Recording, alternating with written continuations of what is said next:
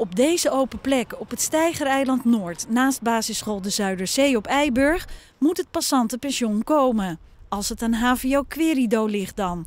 Want de bewoners en ook de school zitten er niet op te wachten.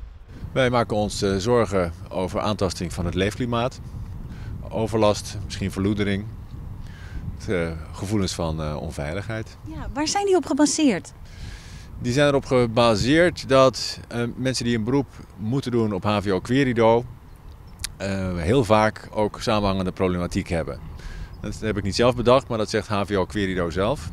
En dan praten we over problematische schulden, over verslavingsachtergrond, over psychische of psychiatrische achtergrond, dat soort uh, situaties. Maar HVO Querido verzekert ons schriftelijk en telefonisch dat hier geen bewoners komen met een verslaving. Het gaat om zogeheten zelfredzame daklozen. In dit geval 50 alleenstaande 30-plussers die geen zorgindicatie hebben of overlast veroorzaken, maar door persoonlijke omstandigheden tijdelijk dakloos zijn. Ja, dat uh, zal HVO Querido vast en zeker uh, verzekeren.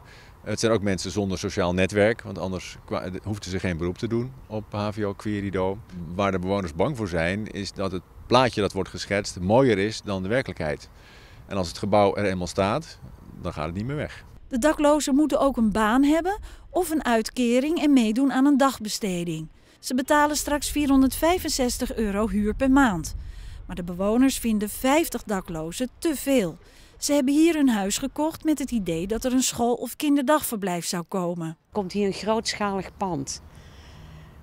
Eh, dat is nooit de bedoeling geweest. Het moet een maatschappelijke bestemming hebben en dat, en dat is geen woning. En al helemaal niet voor uh, tijdelijke daklozen.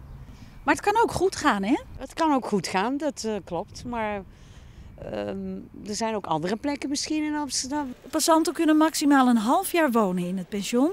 In die tijd helpt HVO Querido hen om hun leven op orde te krijgen. Tussen 9 uur s morgens en 11 uur s avonds zal het toezicht zijn. Als het pension goed functioneert, wordt het toezicht afgebouwd.